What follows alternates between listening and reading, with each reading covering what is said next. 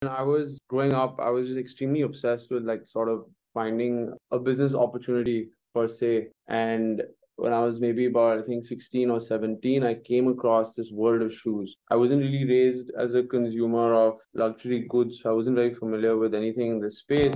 23 year old Vedant Lamba started working on his passion of reselling shoes when he was just 16 years old and launched his own YouTube channel, Main Street TV, in 2017. This later became a company of two outlets right now, Main Street Marketplace. Now, the company and the sneaker culture in India has massively expanded as Main Street Marketplace is on track to make 100 crore worth sales this fiscal year. how it's going? I mean, the first year of business, the amount of sales that we did that whole financial year. Uh, next month we'll do more than we did that whole fiscal year. We did about seven crores in our first fiscal year.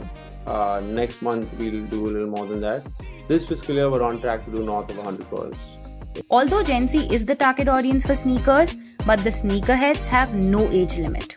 Uh, it's a big thing in the West. It's a big thing in India as well now. There's a lot of kids we know who make lakhs and lakhs of rupees a month. You know, 17, 18, 19 year olds who are making like starting with 20,000 rupees and now like making 3, 4, 5, 10 lakh rupees a month in profit off of just selling sneakers. In fact, the craze is so much so that people line up for hours to buy that one sneaker. Uh, and then, you know, fast forward 2022,